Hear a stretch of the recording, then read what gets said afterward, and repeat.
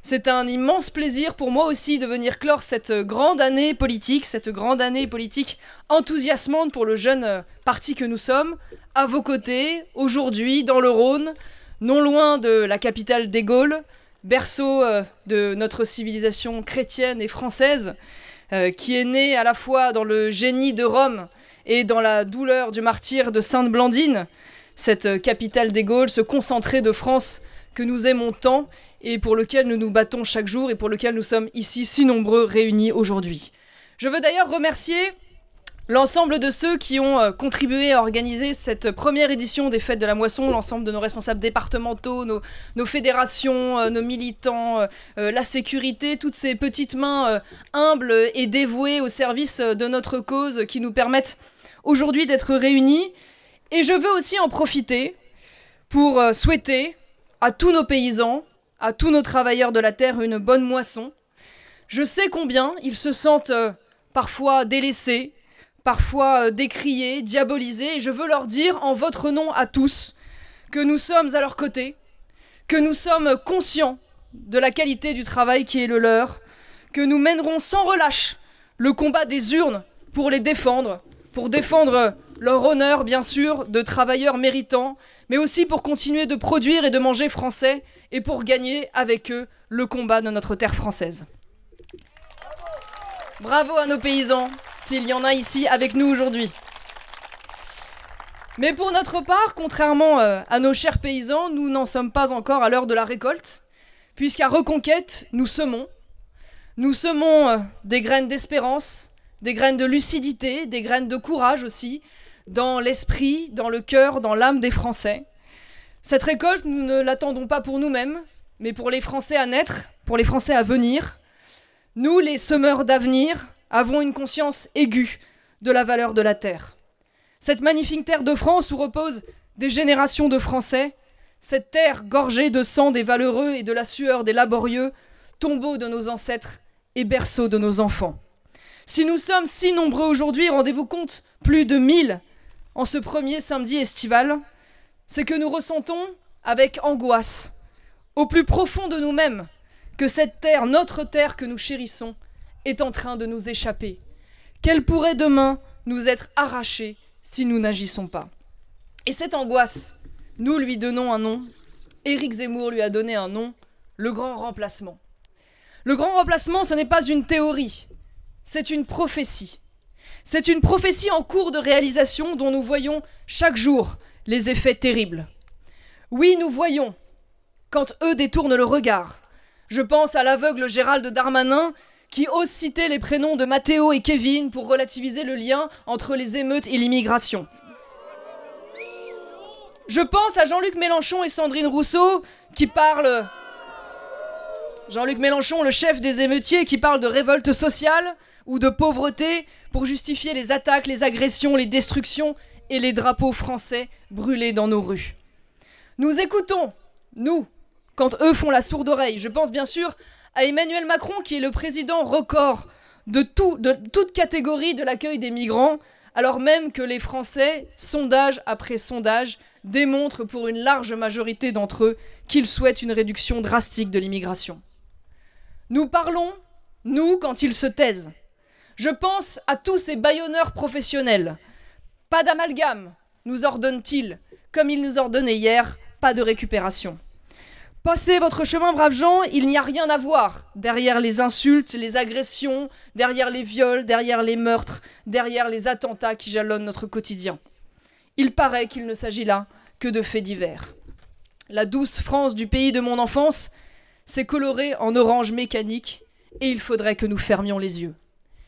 Ils veulent nous faire taire et nous ne nous tairons pas. Ils veulent protéger les coupables et rendre nos cœurs insensibles à la souffrance des victimes, mais jamais nous ne nous résoudrons à enterrer des innocents qui n'auraient jamais dû mourir. Oui, nos vies et la vie de nos compatriotes valent plus que leur déni, parce que ces politiciens sont les extrémistes du déni. Le déni sur l'immigration, le déni sur l'islamisation, le déni sur la soumission, le déni de la corruption du réel, du vrai, du beau et du juste. Alors je m'y engage avec vous, nous continuerons à dire tout haut ce que tous ces politiciens n'osent évoquer qu'à voix basse. Je me souviens des aveux discrets et lâches de François Hollande à quelques journalistes qui disaient Comment peut-on éviter la partition? Car c'est quand même ça qui est en train de se produire, la partition. Alors contrairement à eux, nous n'avons pas peur des mots, et nous la devons, cette vérité aux Français, cette vérité dure à entendre, dure à accepter, et qui peut nous faire peur. Car oui, la partition sera notre triste avenir si nous n'agissons pas. Nous devons en faire prendre toute la mesure aux Français qui n'ont pas encore totalement ouvert les yeux. C'est notre mission à Reconquête, mais c'est votre mission à vous aussi, en tant que Français et citoyens engagés. Il faut que ces Français comprennent la violence du réel qu'il y a derrière ce mot. La partition, c'est l'abandon contraint et forcé d'une partie du territoire sous la pression des hommes et des événements. Cela veut dire que demain, des millions d'entre nous pourraient être orphelins de leurs attaches, devront quitter leur village d'origine, abandonner le cimetière familial aux herbes folles, parce que la cohabitation sera devenue totalement impossible. Il faudra accepter qu'une partie des terres de France ne vive plus au rythme, au goût, au son, au souvenir, au rêve français. Alors, je vous le dis, il n'y aura plus ni graines, ni semences, ni récoltes. Et c'est ce qui se produira par la force des choses si nous poursuivons le chemin tracé par nos gouvernants depuis des décennies. C'est même un horizon qui se dessine, non pas pour demain, mais pour après-demain, et que pourraient connaître nos enfants et nos petits-enfants. Puisque, selon un certain nombre de projections, les Français de sang et de cœur pourraient devenir minoritaires sur leur propre sol d'ici 2050. Et c'est déjà une forme de partition qui se joue sous nos yeux à travers les émeutes auxquelles nous avons assisté ces dernières semaines. Ces émeutes, c'est peut-être avant tout une guerre de territoire, où de nombreux jeunes gens issus de l'immigration veulent en découdre avec l'État français, faire reculer l'uniforme, faire partir en cendres les milliards que la République a investis dans ces quartiers. C'est pour les racailles une façon de dire que la France n'a aucune valeur pour eux, de dire qu'elle n'a rien à faire dans ce qu'ils considèrent dorénavant comme leur chez eux. C'est une véritable sécession territoriale, sécession culturelle, sécession de cœur. Qui aurait pu prévoir demande naïvement Emmanuel Macron. Leur naïveté est confondante, leur inaction est criminelle. Parce que nous, nous avions prévu. Éric Zemmour avait prévu. Et déjà, il y a plus de dix ans, lorsque j'étais jeune député, j'avais, avec votre soutien aussi, prévu. Il suffisait tout simplement d'aimer la France. Il suffisait de vouloir regarder le réel en face. Il suffit aujourd'hui d'ouvrir son poste de télévision. Oui, osons le dire, le pronostic vital de la France pourrait être engagé lorsque des dizaines de milliers d'émeutiers, le brillant euh, Pierre Brochant, qui est euh, ancien euh, numéro 1 de la DGSE, parle lui de 100 000 à 200 000 émeutiers dans une remarquable interview d'ailleurs que je vous recommande dans le Figaro Magazine. Lorsque 45 000 policiers et gendarmes ont été mobilisés, le RAID, le GIGN appelé en renfort, plus de 700 policiers blessés, plus de 12 000 voitures brûlées, plus de 10 000 incendies et feux de poubelle, plus de 400 bureaux de tabac, plus de 400 agences bancaires, 200 commerces, 150 bureaux de postes détruits, 269 attaques contre des commissariats et des casernes, 243 attaques contre des écoles ou encore 105 mairies incendiées. Gérard Desantes, que vous avez entendu juste avant nous, maire de Charvieux-Chavagneux, en a fait les frais, comme Bernard Jamet, maire reconquête de Sanois, qui a eu le courage de s'interposer entre les émeutiers et sa mairie pour éviter que celle-ci ne soit détruite. Vous pouvez les applaudir, tous ces maires courageux en première ligne qui ont été là quand l'État a failli.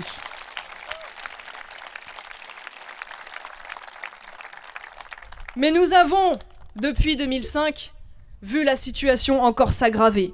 Les multiples violences et tentatives d'assassinat contre des élus, des gendarmes, des policiers, des pompiers, nos forces de sécurité traquées au pied de leur domicile et qui vivent aujourd'hui dans la peur pour leurs maris, leurs femmes et leurs enfants, obligés de cacher leurs adresses, de vivre loin de leur lieu de travail. Des passages à tabac gratuits de citoyens comme ce vieil homme de 77 ans qui tentait tout simplement d'éteindre son feu de poubelle. Alors je fais le pari avec vous, à la suite de ce passage à tabac, cet homme voit son pronostic vital engagé et pourtant, il n'y aura pas d'émeute, il n'y aura pas d'indignation de l'extrême gauche, il n'y aura pas de grande tribune des artistes et du monde de la culture pour défendre cet homme honnête qui n'avait rien demandé. Et nous avons même appris hier qu'au cours de ces émeutes, une femme avait été violée par un groupe d'hommes en pleine rue. Alors, je vous dis, euh, cette litanie de chiffres, je sais qu'elle est dure à entendre, mais je crois qu'il est important de regarder les choses en face et de mesurer qu'entre 2005 et aujourd'hui, nous avons passé un cap extrêmement inquiétant. 45 000, je vous l'ai dit, membres des forces de l'ordre ont été déployés, contre 12 000 en 2005. Et malgré cela, en 4 jours, contre 21 jours en 2005, nous avons eu 3 fois plus de blessés, 5 fois plus de bâtiments dégradés. Des témoignages de terrain des forces de l'ordre nous sont revenus de toutes parts, dans toutes les régions, tous les départements. Ils étaient chaque fois les mêmes.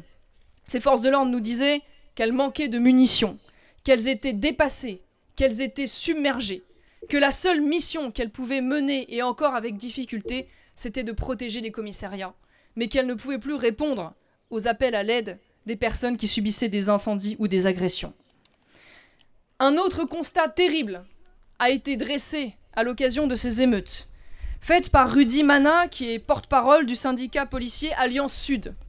Il était interrogé par CNews et il a expliqué que la décrue des émeutes a été rendue possible grâce aux trafiquants de drogue qui souhaitaient pouvoir reprendre leur activité interrompue par les émeutiers.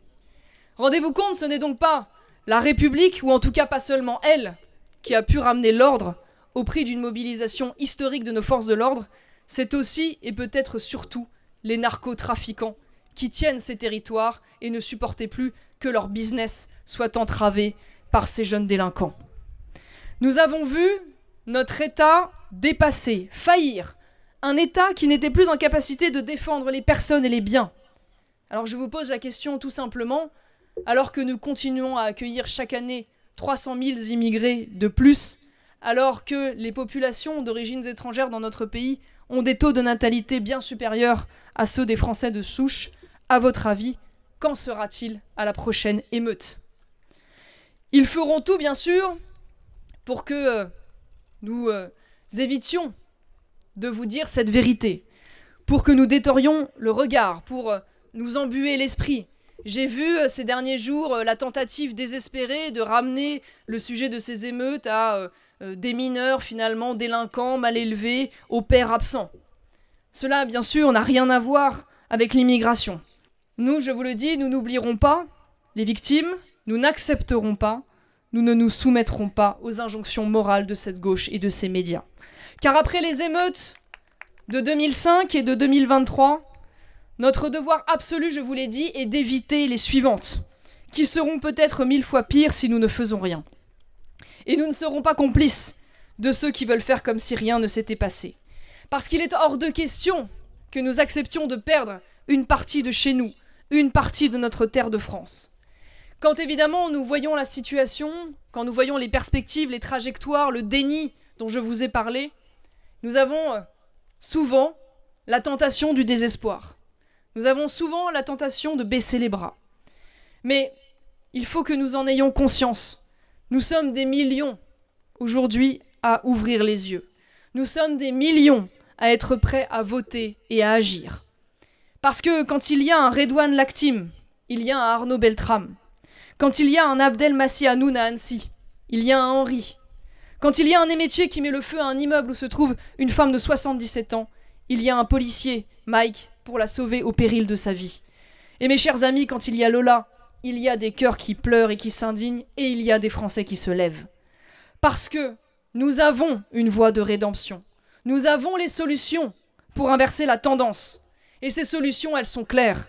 C'est l'immigration zéro et c'est la francisation totale. Le grand défi.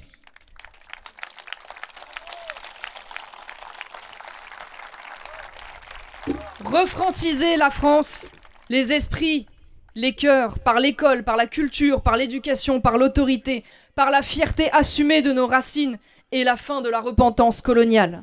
Avec Éric Zemmour et Reconquête, nous proposons d'abord l'immigration zéro par la mise en place d'un véritable bouclier migratoire. Tout d'abord, nous voulons supprimer le regroupement familial et le droit du sol. Nous durcirons Nous durcirons les conditions de naturalisation, pour l'accès de la nationalité française, car celle-ci aujourd'hui est bradée et imméritée. Nous limiterons drastiquement le nombre de visas. Nous referons du droit d'asile une exception, fidèle à sa lecture originelle.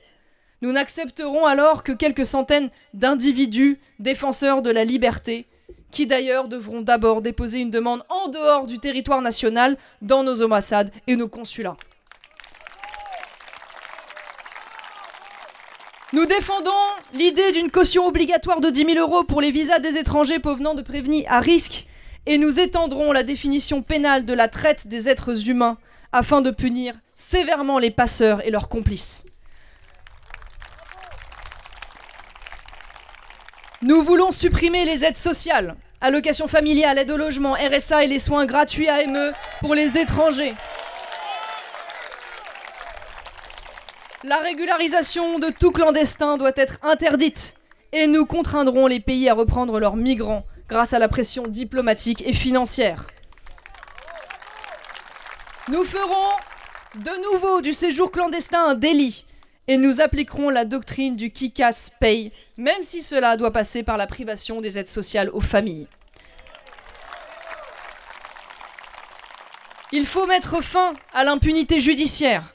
Et pour cela, les émeutiers de 16 ans et plus doivent être sanctionnés exactement comme les adultes et passés systématiquement en comparution immédiate.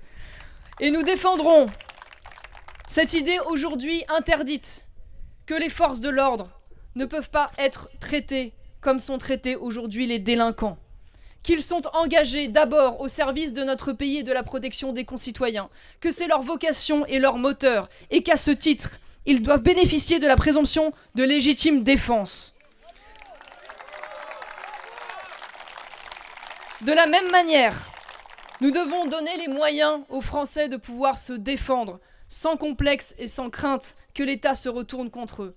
Alors nous défendons cette doctrine du château qui aujourd'hui existe aux États-Unis et qui est simple, qui considère que un Français qui subit une intrusion dans son domicile peut se défendre par n'importe quel moyen et bénéficie lui aussi d'une présomption de légitime défense. Ensuite, disons-le avec force, nous lancerons un grand plan de remigration. La remigration des fichiers des délinquants, des criminels et des chômeurs étrangers de longue durée dans leur pays d'origine. Oui, la remigration de ceux qui ont violé les lois éternelles et universelles de l'hospitalité. Enfin, nous mettrons fin au dispositif des mineurs isolés, qui font exploser la délinquance dans les grandes villes, et nous testerons systématiquement l'âge réel de ces migrants. Les solutions existent. Il faut oser les mettre en place. Mais comment voulez-vous que notre pays soit respecté dans le monde? Quand nous accueillons aujourd'hui chez nous en Normandie le fils d'Oussama Ben Laden qui vient d'être mis en examen cette semaine pour apologie du terrorisme le symbole est terrible. Évidemment, il ne pouvait être qu'en France. Comment voulez-vous que notre pays soit respecté dans le monde quand nous acceptons en silence, humilier les leçons de morale de l'Algérie, qui s'inquiète, je cite, pour le sort de ses ressortissants dans l'épreuve? Faut-il leur rappeler que les Algériens représentent la nationalité la plus représentée dans les prisons françaises? Que 42% de ces ressortissants algériens n'ont aucune activité en France et vivent au crochet des travailleurs français, que près de la moitié de ces ressortissants algériens vivent dans des HLM aux frais du contribuable. Nous ne sommes pas la garderie de l'Algérie. Que ce gouvernement commence donc par reprendre ses clandestins et ses délinquants, qu'il arrête d'utiliser la France comme cache-sexe de son incompétence. Il est plus que temps de mettre fin au régime de faveur franco-algérien sur l'immigration, qui ne se justifie plus depuis l'indépendance de l'Algérie.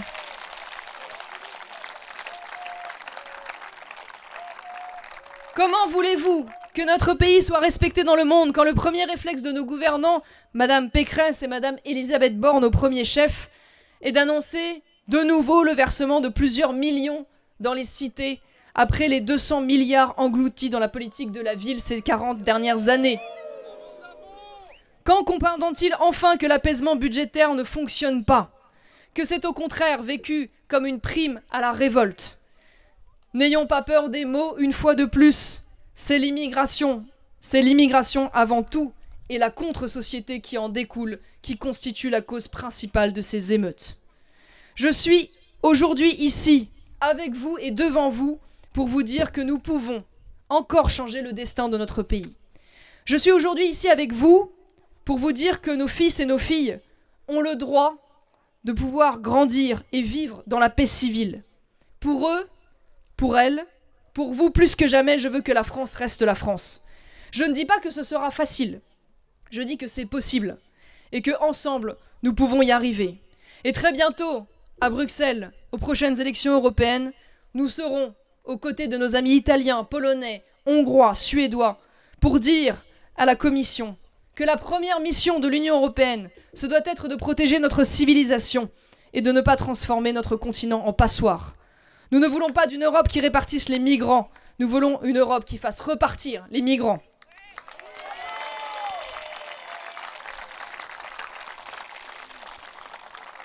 La tâche est évidemment immense, le défi l'est tout autant, et je sais que beaucoup d'entre nous ont du mal à croire que nous puissions encore inverser le cours des événements.